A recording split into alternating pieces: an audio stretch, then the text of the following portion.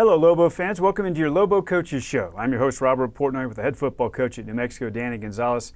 Coach G, Lobos come off a loss in Reno to the Nevada Wolfpack. I, I thought I'd start with this. Uh, I remember you telling us at your press conference last week we had a terrific performance against Hawaii. Let's see how the kids respond after a convincing win. I thought I'd ask about the week of preparation leading up to Nevada. I thought the week of preparation was great. I mean, our our margin for error is, is so slim. You can't turn the ball over three times and not take it away three times, and we didn't. And so they gave we gave them some momentum, and they built on it. We dug ourselves a hole that we weren't quite able to come out of. Uh, we fought our way back, but we didn't quite make it all the way back. There were three first half picks. As you looked at the tape, what did you see on those? I thought the first one was a great play by their defensive end. I mean, they showed like they were going to blitz. They drop out kind of like we do sometimes. And he's a six-five kid. They got right in the middle. Dylan never saw him. And, and give them credit. They made good play. But we held them to a field goal. Not a big deal. It was 6 0 at that point. Uh, Dylan got hit on the next one, which made the next one go high. And then the third one, he just overthrew. Uh, I mean, that was beating Dylan up. But Dylan's the heart and soul of our, our team, on especially on offense. I mean, the voice. So he'll be fine this week. He's got to overcome that, and we almost overcame in the second half, just not quite enough. Yeah, Dylan Hopkins, the Lobo quarterback, did bounce back with a really nice second half, but two touchdowns and a field goal off of turnovers, that's really hard to overcome. Yeah, 18 points is, is a ton, especially when uh, we had two opportunities to take it away. We caused two fumbles, didn't get either one of them. Uh, the second one was close, but close only counts in horseshoes. So we didn't take it away enough to overcome the 18 points off turnovers gosh, the one that coach is talking about, really, when you look at that replay, coach, it's a toe just barely on the white that keeps the Lobos from recovering that ball in bounds, right? I wish he would have just stayed on his feet instead of trying to dive on it. But we do teach him to dive on the ball, especially around a pile. So he did the right thing. He was just a couple inches away. What about your team uh, outside of the turnovers, not moving the ball as well as you would have liked in the first half? Well, we I mean we started off the first drive. It was great early, and then we threw the ball uh, through the lateral that we dropped and, and created a long second long. And then from there, it kind of steamrolled. We got behind, and we weren't able to run the ball with the consistency that we wanted to because we were behind 16 and then 24-0. So we had to throw the ball to get back in the game. I thought we ran the ball early on the first two series, good, but when you get behind, you can't take up the time like that. So Nevada had that 24-0 first half advantage. One last thought. Um, the quarterback, we had talked about his ability to run. How did you feel about your team defending that? Um, he hit us on a couple runs. I mean, that Jamal Bell, the running back number three, he got a few, but they didn't drive the ball consistently. I mean, they had two drives that I thought were good. They got field goals out of. Um, we held them to the field goals eh, when they when we got the sudden change on two of the three, but the punt return and the pick six. I mean, th- those were 14 points we weren't able to overcome. Okay, let's get into the tape next with Coach Gonzales.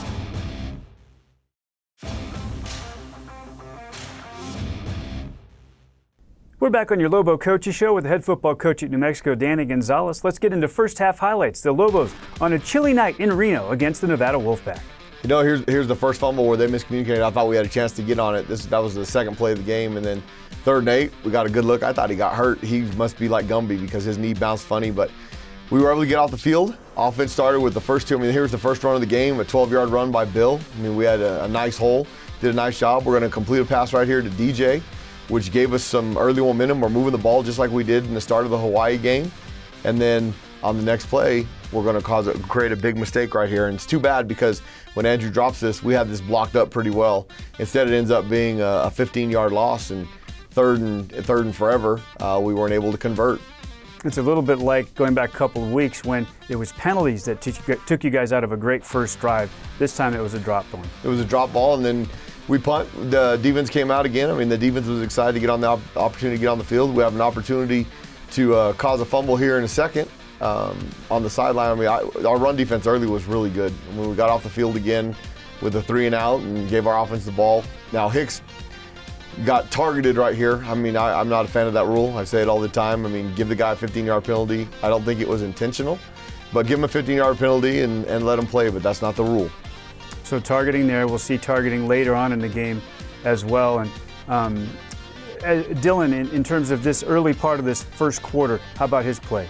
Well, he had a couple of throws early that were good. Uh, we missed the Mike linebacker right there on a now screen on third and ten, so we had to punt the ball right back to him. Uh, both both offenses or both defenses had been holding stage. And then right here, we caused a fumble. Christian Ellis was really close. Zach did a nice job of knocking the ball out uh, he was an inch away from, from getting that ball and, and it being ours going the other direction. We're going to get a great look at a replay here, Coach, close up in just a moment. And you can see just how close Christian Ellis was to getting on this football. He clearly recovers it, but it's where his toe is coming up right here when he actually got possession of the ball. Right here, if he just grabbed it without bobbling it, it's our football. But when he finally got possession of it, you're right, his foot was touching out of bounds. So they got now. I didn't like the spot. They put it at third and one. They were able to to execute this, and then they're going to hit us on a long one here in a second. Uh, we got a nice lick on him. They called this they called this a fumble initially, and then changed it to incomplete. We didn't get on it, so it wouldn't have mattered. But then they're able to complete a 50-50 ball. Where Zach, I thought he sat on the route on third and seven. Um, Campbell ran right by him, and they were able to do this. Now we came out there on defense and got a stop and held him to a field goal. Kyler Drake right there, terrific play, just blows it up in the backfield. We did a nice job on short yardage on Saturday. I mean, we were three of they were three of 11 on third down. We were able to get off the field, but every once in a while, I mean, our guys came hard on PAT field goal block right there. We were, were inches away from blocking one of those, but the kicker did a nice job. He got four field goals on Saturday night. Yeah, he's a weapon, Talton, no question about it. Mountain West field goal leader for a career. This is a good return here by Deuce. I mean, he hit the hole hard. We get out to the 30 yard line. Well, we can we can take that. I mean, offense started with decent field position in the first half.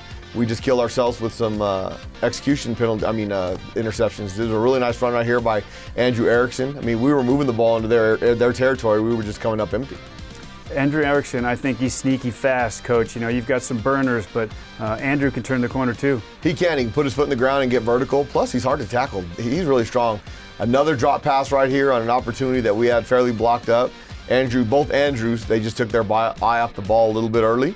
And then they were able to stop us right here on third and five. Now, we went for it on fourth down. Uh, I thought defensively we were playing good enough, but this was a heck of a play by their defensive end right there to step back and catch it with that short of a, a throw as hard as Dylan threw it. Uh, now we got him on the ground. I thought the defense did a great job on sudden change. We came out, got him into a third down, and we get off the field. I mean, the, the aggressiveness right here was great. The thing that you guys did early in this game, coach, you think of the, the long pass play, force a field goal. The first pick, force a field goal. How about Jamarius Lewis, too, coach? Uh, he's barely, I mean, you know, confidence is an amazing thing. And when you can get confidence, you can do some special things. I thought that was a nice play by Marvin Covington right there. Jamarius Lewis was in good position as a free safety. And then we held him to a field goal on the sudden change, which is good. I mean, it's only 6 0 at this point. Was the wind a factor in this game, coach? No, I mean, it, the, the weather was a little bit chilly, but it wasn't a factor here's Dylan's uh, first interception, our second interception right here after that, that series that led to a pick six. He got uh, the ball was a little bit high. He overthrew it. If if uh, if he connects on this ball right there, Caleb Medford's going to go for a long way. I mean, that was the most disappointing in the three interceptions. One would have been a first down, and then the other two were going to be pretty big plays. And the, the latter two, we'll see the other one, both same slant to the same guy, Medford he just overthrew him a little bit. One he got hit, and the other one, that the first one right there on the pick six, just went off target. Continue to see good play from Ryan Davis from the slot too, coach. We did, and, and then we had a couple deep shots, one to Deuce, a couple to Caleb that we just weren't able to connect on. Uh, if we could connect on those, it'd be game changers right here. Give Nevada credit right there. Their Mike linebacker, uh, he did a really nice job of getting out there on the on the eight the B swing and got him on the ground. There's a nice run by Brendan Lewis right there on the zone read. Uh, this was the, the, the, longest drive they had of the night, 81 yards. They were able to get down in, into our territory. Uh, he does a nice job, though. We did a we did a, a, poor job early of making sure he handed the ball off. We were able to do it later, and then he got banged up with the ankle roll. And I was impressed with the way that their backup quarterback played. And we talked about what a weapon Talton is. Uh, he, has got deep range too. He does. They had two sustained drives on offense. Um, both of them ended up in field goals. One was 50 yards, one was 81 yards, and, and they got three points out of them. I got a really nice play right here by Jeremiah Hickson. Once again, we're moving the ball, and then we're going to turn it over again. And like I said, our margin for error right now is so slight, we just can't turn the ball over if we're not going to take it away as many times. And here it is. This one sails, and he did get hit on that one. He did. He got hit right as the ball. It caused the ball to float a little bit, and it went over Caleb's head. Uh, now we come out. We get the, they get the ball on the 24-yard line. We get them into a third and three. They're able to run the ball for a first down, which this was disappointing because up up top there, uh, they had a hold of Marvin Covington's face mask. We sent it into the league. I haven't heard back yet, but a third and 16 as opposed to the third and three right there is going to be a significant difference. I mean, they got the ball at the 24 yard line. They were able to put it in the end zone and get the two point conversion, which put us in the 24 nothing hole. What happens when you send something into the league like that? If they see it and they acknowledge it, you just get, I'm sorry, we missed it? Yes, I'm, I'm not a big fan of doing that. Uh, I thought there was some stuff in there that they needed to see, so we sent some stuff in this week, but uh, there's, there's nothing you can do. The game's already over. Nice run again right there by Brendan Lewis. As we come up to the, now we get off the field here, I mean, there's 24 0 uh, right there. A nice job by Christian Ellis staying over the top. We got him to punt the ball right back to us. We're going to run it a couple times to get out of the half so that we can get in the end zone. The great thing on the sideline is nobody thought the game was over. I mean, we had spotted them 24 points. Everybody had full confidence on our sideline that we could come out there and get right back in the football game. And we'll see in the second half, we get some early momentum. We just weren't able to sustain it. And I think that these plays here at the end of the half, uh, obviously, this gives you a feeling for the second half. Hey, we can go do something. You know, we had moved the ball early in the first half. We had moved it uh, by, we had some big plays. We just stumped ourselves with the three interceptions, and we can't do that. I mean, we, we took the clock down right there. I mean, they had 171 yards of total offense. We had given them three extra possessions. We actually were on the field 11 times on defense, which is almost unprecedented for a half. Uh, I thought our guys did a good job of, of holding the sudden changes to minimizing the points. We gave them the ball at the 24 yard line, had a chance to get off the field. They were able to get a, a touchdown off of the one. Like I said, I thought there was a holding penalty. But we dug ourselves a hole, and now we're going to go into halftime, make some adjustments, and see if we can get out of it. Got a chance to give Dampier a little work there uh, at the end of the half, and uh, nice to see Deuce Jones make a grab there at the end of the he half. He did. Well. Uh, Deuce, I mean, he's gotten better and better each week. Uh, he had an opportunity of the deep shot. We got to keep connecting between him and Caleb. They can take it over the top. We just got to connect on a few of them. Okay, we come back with second half highlights. The Lobos will get it going in the third quarter. That's next with Coach Gonzales.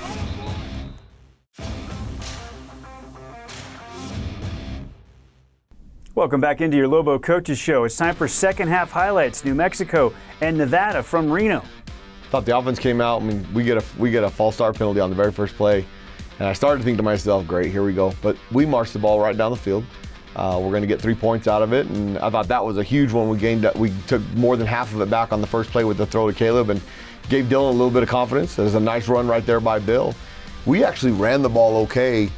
We just couldn't run it very much, and when you can't run it very much because of where you are on the position of the field, uh, it makes it pretty tough for especially what we do on offense. Andrew Henry's able to turn the corner there. Do you think sometimes you get down a couple of scores that maybe that you're compelled to feel like you can't run it as often when maybe that's not the case? Uh, sometimes. Now, we were in a pretty big hole. 24 points is a lot of points. And once we got it back to 24 10, uh, if we could have got one out there and got another three out on defense, I mean, you can run your normal offense. 14 points with, with a full quarter and a half to go it's no big deal. Uh, they did a nice job right here, but Luke comes out and, and bangs us away. We get 24-3 lead. We cut it to three touchdowns, and let's go out on, on defense and get a stop. Drzewiecki nails a 47-yarder, a career long, a beauty. Hit it right down the pipe and did a nice job. I think our, our kickoff team has really, I mean, we, we've got him inside the 25 several times this year. Um, the coverage has been great. There's a great tackle by Josh Williamson right there. I mean, those guys are doing a good job and then we come out on defense with the first stop. They get a first down, and then we're going to go three three more plays and get off the field. This is setting you up perfectly to get right back in the football game, and because you're able to get off the field here this time, and that is just a terrific play there on second and four, and you're going to stone them on third and short right here too. Exactly. I thought Derek Moore did a great job on that previous play. Uh, we did a better job in the second half of forcing the quarterback to hand the ball off into our inside zone guys. Uh, and that was a, a, nice throw right here by Dylan Hopkins to Trace Bruckler, and Trace made a guy miss. We're getting some positive territory. And then we're going to hit, this is exactly the same uh, throw that Dylan had on the first series that he overthrew Jeremiah a little bit. He put this one right on the money and a touchdown, just like I think the other one would have been. 59 yards to Hickson right there. And uh, I remember saying, We've got a ball game. You guys are right back in it. Right back in it. Now, this one right here, that a third down. Derek Moore he actually came and chased the quarterback, which we didn't need him to do. He was supposed to fit on his side. It popped for a 31 yard run. And then we're going to miss a tackle uh, here on a second and 10, where if we make this tackle, it's going to be third and four. And like I said, we've been really good on third and four. Marvin just missed. Dalevon Campbell's a big young man, uh, was able to get 28 yards, and they're going to get down here in field goal position. And they're going to be able to kick a field goal to, to not eliminate the game, put it back at 27 to 10 we're able to get off the field. I mean, they get inside the 10 yard line with a first and goal. We're able to stop them and hold them to a field goal. A couple of things. Uh, I, I, thought Dimitri Johnson played a terrific game, and he's able to grab two guys at once. And what about the targeting here? Well, the, I mean, he got him. He got him on the helmet. This is one of those things. I mean, he wasn't intentionally trying to get him. Uh, their helmets just collided as Alec drove, dove in. I wish it would be a 15-yard penalty and let the young man keep playing, but that's not the rule, and so we'll be without Alec for the first half next week.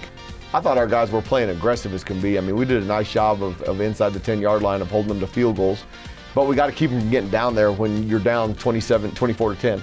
But at 27 to 10, it hurt right now when the offense came out and went three and out. This series of downs, the costly one. Now, here, I, I think Aaron does a great job this low bouncer all the way back to the 32. What happened on the coverage here? Couple of assignment mistakes on the coverage right there. I mean, there's a nice block, and I thought it was a blindside block the, during the game. It wasn't. Uh, our deep snapper, uh, for some reason, he was looking for the football. He's not supposed to look for the football. If he would just run down there and run the returner, the returner probably doesn't even pick it up. Now, they started at the 32 yard line. I thought that was a very questionable call. I mean, they're hand fighting right here. You see Marv's hands on him, takes him off. They both push off. He swipes at it. I mean, we, we turned it in. I'll wait and see what they say because uh, they're allowed to hand fight. If we could have got off the field right there at third and 11 and, and they kick another field goal at 30 to 10, you still got a great opportunity. 34, we, we all the ground that we had made up, we gave it right back. And it's too bad because we make a one possession game uh, with the or a chance at a one possession game with the two point conversion there. Now this one I thought Marvin was holding. I mean that that one okay they called that one. It was too bad they called the first one because third and 11 we got off the field with a field goal attempt. It might have been a little bit different in the game. I always wonder about these uh, goal to go scenarios where a, a, player coming from behind, if he sees a teammate is in front of the ball carrier, because when he dives from behind, he's pushing the ball carrier toward yeah. the line. We teach him grab a hold and pull back. Don't push forward. And uh, so we were able to watch that in meetings yesterday to go over that. It happened on that, and it also happened on a third down earlier in the game. That was a play that Caleb Medford could have made right there. I know you got the uh, pass interference, but that one was right on point. It was. And then that was a great grab right there by DJ. So we moved the ball down right once again. We put it in the end zone. 24 to, or 34, we're going to go for two here in a minute, 34 to 18 to make it a 16.2 possession game. Nice run by uh, Devon. Both the touchdown runs were really nice runs by Devon right there. Now we get off on defense. We get him into a third and six. Uh, I thought that this, this was probably my fault. We probably should have been a little bit more aggressive on this third down. Uh, I thought they were going to try and run it because they'd had some success. They threw it. We had a guy that was just a step late get inside of it.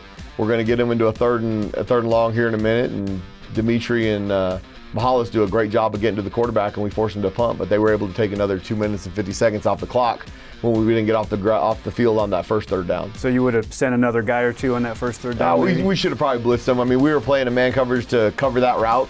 We were just a little bit late getting to it, and then they were able to convert the first down.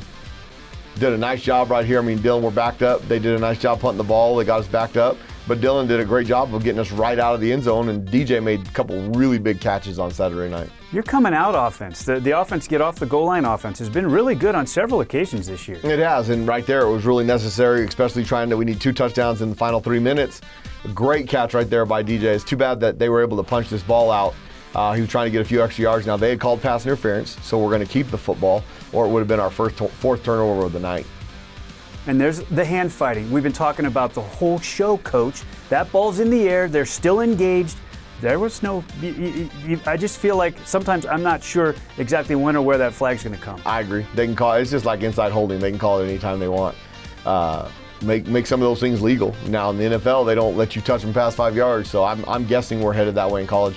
Great play right there by Andrew Erickson. I mean, they were pulling the ball, hang on to it, get down. And then if we, I mean, this is a, a good throw right here. Caleb got pinned at the line of scrimmage. Uh, they called the illegal hands to the face. There was actually two of them. They did it to Caleb and they did it inside. Great run here by Andrew Henry. We got down to the three-yard line. We're going to put the ball in with uh, with Bill right here. It's a nice cut. If we can get the two-point conversion right here, we'll have a minute to go with an onside kick and a chance. Dylan just the ball sailed on him a little bit and 10 point lead now with a minute to go. I thought you might come back with the zone read on the two point because it had been so effective with Devon uh, the previous possession when you scored the touchdown. You know, we had a, I mean, we had Jeremiah right there wide open. I mean, Coach B made a really good call. They were just able to, uh, he, the ball sailed on him a little bit, and unfortunately, uh, it made it a two possession ball game, and we just didn't have enough time anymore. And, and the pressure probably created the ball sailing. It did. I mean, he, the guy was chasing him a little bit, uh, but uh, Dylan, I mean, after the game, that's a that's a throw that Dylan feels he's got to make, and we us losing that game was not Dylan's fault. Dylan had a couple bad throws, but there was plenty of opportunities for other guys to make plays. Dylan just feels the pressure because he's the quarterback. And he felt bad after the game. He's like, Coach, I, I, I screwed this time. like, Dylan, you didn't. We wouldn't have had no chance to get back in the game if you didn't play in the second half the way you did. So Dylan will come back. He'll bounce back strong this week against UNLV. Uh, disappointing because I think our team expected to win. Our fan base expected to win. We turned the ball over three times, and that was the difference in the game. None of us has any doubt that Dylan will come back. He absolutely will, and that's a sign of a leader. Take responsibility. Okay, on the other side, we wrap up the loss in Reno, and then the Lobos hosting UNLV. That's next.